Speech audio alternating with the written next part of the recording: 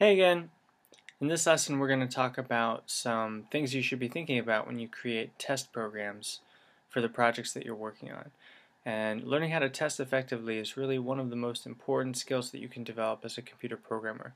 It's right up there with being able to use the debugger effectively because if you can't figure out if your program is working then you're not going to know if you've actually achieved your goal.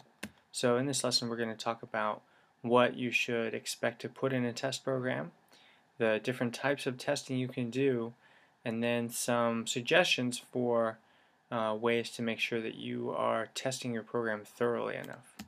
So a test program is just a separate class that we use when we're trying to test the methods for one or more other classes that we've just written. And depending on the type of testing we're doing would depend on if we're going to be testing one class at a time or several of them together. And that's where we talk about the different types of testing. The simplest kind is called unit testing. And like it sounds, that's when we test one class at a, uh, at a time. And you should always do unit testing before you try to do any other kinds of testing because you can't tell if two classes work well together unless you can first be sure that they each work by themselves. And when it does come to put the classes together, then we're talking about uh, integration testing. That's where you are testing to make sure that class A can call methods from class B and the behavior is what you were expecting. And the last type of testing, which is in some sense uh, could be examples of either of the first two, but it's really a special type of testing is called regression testing. Regression, just like it sounds, means going back. And in regression testing, what you're really doing is you're testing all the old tests. You're running all the old tests that you used to run after you make changes to a class to make sure that the changes you made didn't break anything that used to be working. Uh, sometimes when you try to add a feature to a class or when you try to fix another class, it has a bad unintended side effect of breaking something that you thought was already working. So it's always a good idea to go back and test your whole program after you make a major change. Even the stuff that you think might be working might not be working now. So that's regression testing. As far as things to think about as far as what you should be testing, I mean, you can't test every single possible situation, especially if you're dealing with a program involving user input. Um, but, you know, more to the point, you don't have to.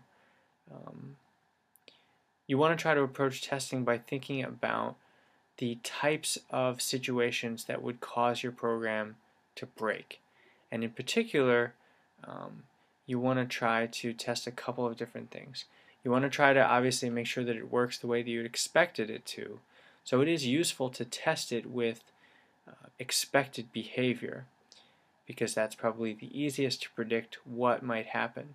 But it's also really important, especially again when you start working with the users, that you anticipate what unexpected things might happen.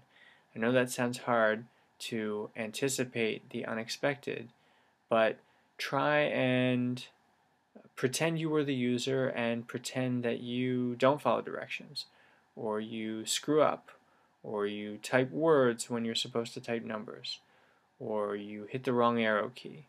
Um, all of those things are possible, and all of them will probably break your program, and it's not a valid excuse to say, well, we didn't expect the users to do that.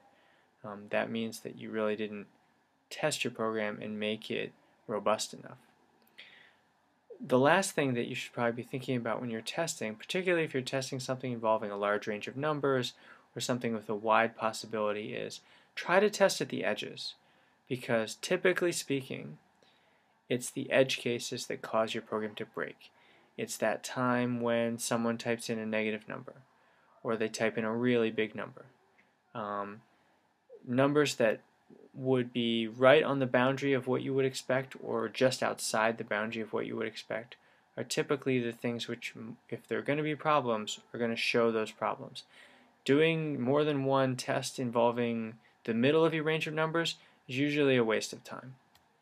So what specifically should go into the syntax of your test program?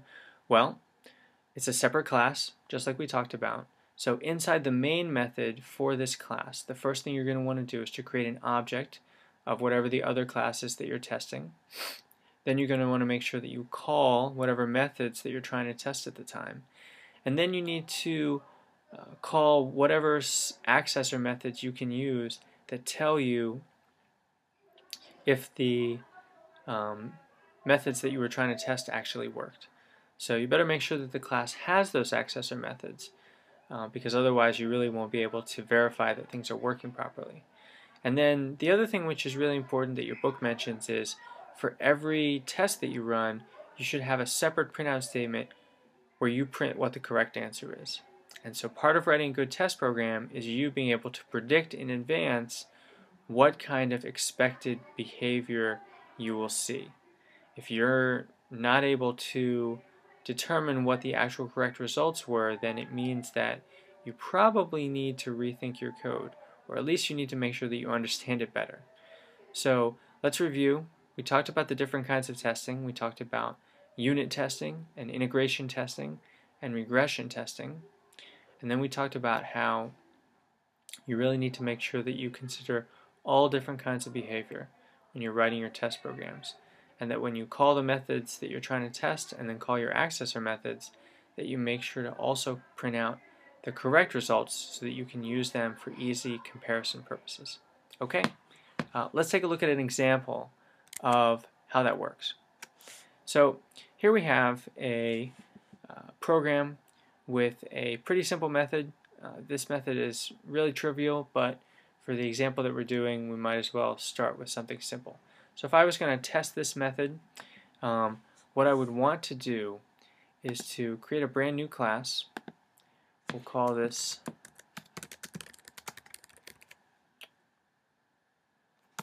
tester sounds fine. And then inside of our main method,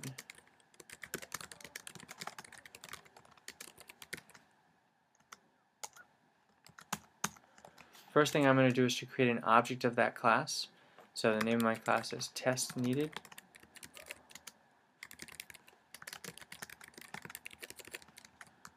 And now I'm going to test that method. So the name of the method that I was going to test was get average and it takes two parameters, the total and the count. So what if I test it with expected behavior? So if I was to say uh, double answer gets tester get average of, I don't know, 150 total among 10 scores. I print that value.